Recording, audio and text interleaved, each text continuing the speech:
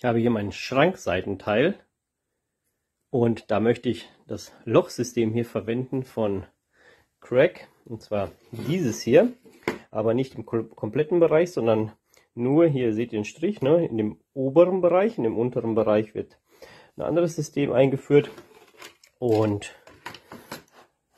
das setze ich nämlich genauso hier an und werde von hier unten bis hier oben sozusagen das 32er Lochsystem machen.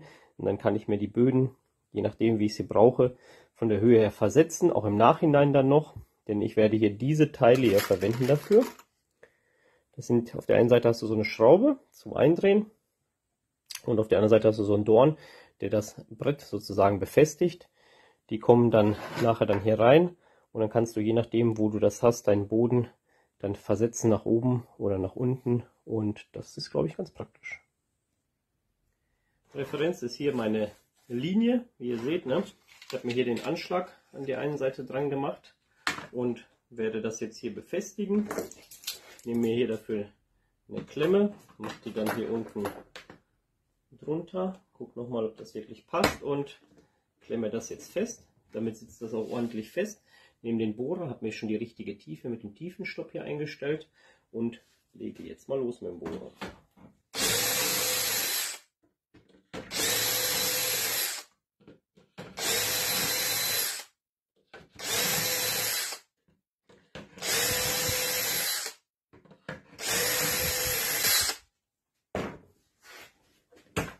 Das klappt super. Man sieht es hoffentlich, ja, dass das hier die Löcher sind.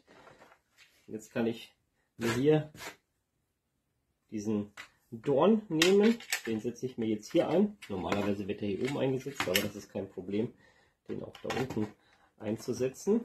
Damit habe ich jetzt wieder mein, meine Reihe sozusagen fortgesetzt und auch hier jetzt wieder mit der Klemme festmachen. Und weiter geht's.